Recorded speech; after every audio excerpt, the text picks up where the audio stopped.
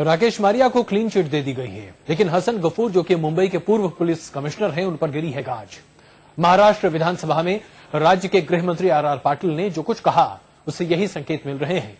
पाटिल ने कहा कि गफूर ने 26 ग्यारह को लेकर मुंबई पुलिस के चार अफसरों के बारे में जो कुछ भी कहा था, उस राय से सरकार इत्तेफाक नहीं रखती, उस राय को सरकार मंजूर नहीं करती।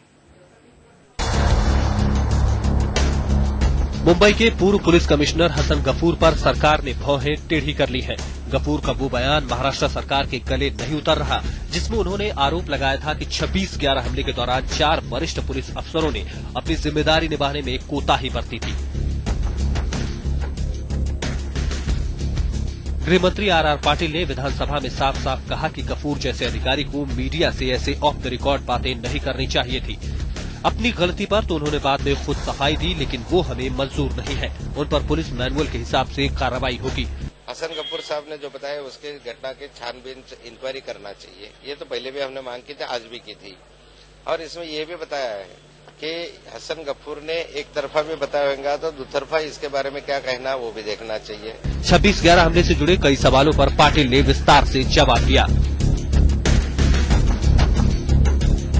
हेमंत करकरे के बुलेट प्रूफ जैकेट गायब होने के मामले में उन्होंने कहा कि इस मामले में आठ दिन के भीतर दोषियों पर कार्रवाई होगी। आरआर पाटिल ने मुंबई पुलिस के ज्वाइंट कमिश्नर राकेश मारिया को भी राहत दी। उन्होंने कहा कि 26 ग्यारह हमले में मारे गए डीआईजी अशोक कामटे की पत्नी विनीता ने मारिया पर जो आरोप लगाए हैं, वो बेबुनियाद है।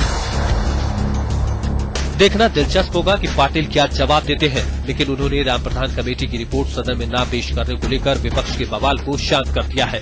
पाटिल ने कहा कि 26 ग्यारह हमले की जाँच पर बनी प्रधान कमेटी की रिपोर्ट 21 दिसंबर को सदन में पेश होगी।